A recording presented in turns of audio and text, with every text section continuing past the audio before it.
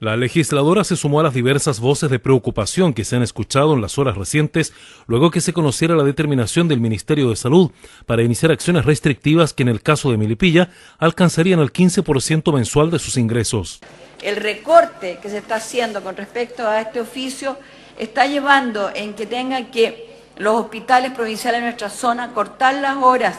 extra a los médicos como a los técnicos eh, especialistas en diferentes temas. Y esto está redundando eh, directamente en la atención hacia los usuarios de FONASA y a los indigentes de nuestra zona, teniendo que aumentarse la cola de espera y sin tener posibilidad de tener ninguna derivación hacia Santiago.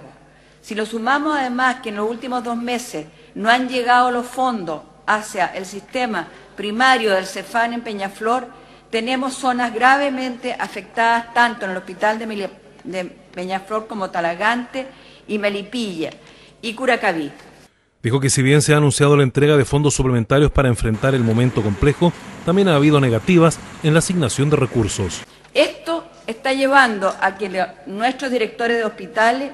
hayan tenido que solicitar aumento de presupuesto negándosele y recién en el día de ayer se les ha planteado un aumento muy limitado por tres meses.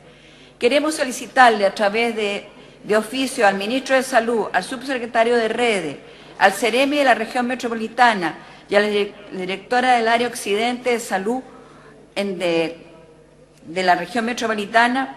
en que realmente nos digan cuáles van a ser las medidas que se van a tomar en el futuro, si están dispuestos a ir privatizando la salud a través de este sistema o recortando definitivamente la atención pública hacia FONASA o si FONASA va a poder cubrir en el futuro las camas como se hacía anteriormente y no descontárselo de los presupuestos de los hospitales provinciales como se hace el día de hoy.